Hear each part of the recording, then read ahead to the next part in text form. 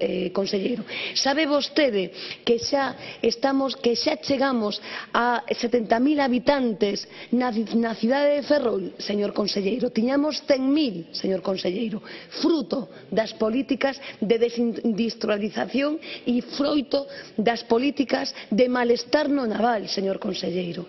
Temos 70.000 habitantes. Con isto digo absolutamente todo. Mudamos para peor, pero fíxese, por unha vez eu voume a tomar a voz prestada, a que hoxe non teño, dos empresarios e empresarias da comarca de Ferrolterra, que es que están todos sin proxectos e sin empresas. Ponme vostede o exemplo de Cándido Hormida, señor conselleiro. Vostede se cree que é serio poñer o exemplo de Cándido Hormida. Cándido Hormida, afortunadamente, ten traballo porque traballa para o grupo Inditex, señor conselleiro. Non nos faga trampas, non faga trampas, non faga trampas cos datos. Seguramente Seguramente vostede, xa que falou en termos xerais e falou pouco do plan Ferrol, non vai mentir o esto, señor conselleiro, mire, se fai o favor, o INE, señor eh, conselleiro, Galicia, menos 4,9%, produción industrial, señor conselleiro, non mo estou inventando eu, e voulle dar tamén a razón nunha cousa ao Partido Popular e ao señor Feijó, é certo, fixeron terriblemente mal no naval e por eso decrecemos e por eso a economía galega resíntese, porque se hai unha industria moderna en termos económicos é o naval, señor conselleiro, é o naval.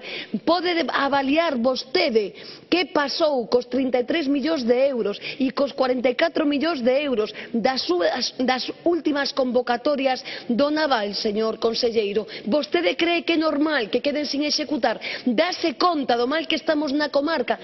socialmente, pero as empresas que non teñen nin capacidade para presentar seus proxectos, señor conselleiro. Eu xa sei que non me escoitou, aínda que non teño voz, xa lle falei dos abais do 10%, por certo, as patronais ferroláns pedíronlle que os quitaran, señor conselleiro, da igual, vostede ven, como dio o señor Losada, a modo frontón, coa resposta por escrito, e da igual, porque contestoume ao que xa lle dixen, 10% da abais, interesa o 4,3%, señor conselleiro, non temos nin siquiera empresas para facer eso. Señor conselleiro, faláballe do 2009 porque un responsable público ten que ser coherente coas súas promesas e prometeron plan industrial para Ferrolterra.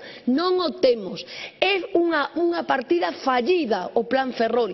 Quiten o plan Ferrol e fagan algo serio coa nosa comarca, salvo que queran acabar con todos e con todas nós. Xa nos converteremos na escoria do noso país, señor conselleiro, estou falándolle en serio, non somos os do non, estamos dispostos a traballar por esa comarca, pero non matar ou poñer en risco a vida das persoas.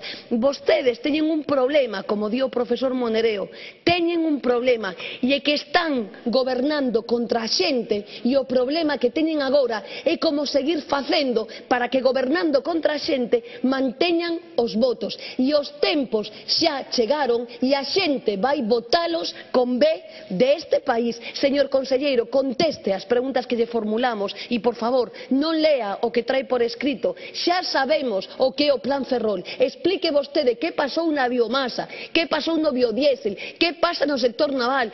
Imos ter plan industrial, sí ou non. Imos ter dique flotante, sí ou non. Imos ter carga de traballo, sí ou non. Sabe cantos traballadores están ocupados na principal e na industria auxiliar familiar, señor conselleiro, no flotel?